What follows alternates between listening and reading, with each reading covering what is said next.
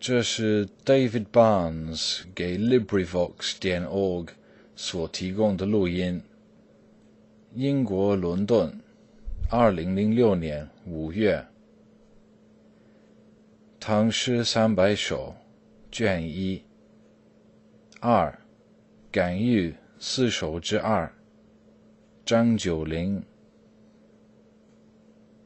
兰叶春葳蕤。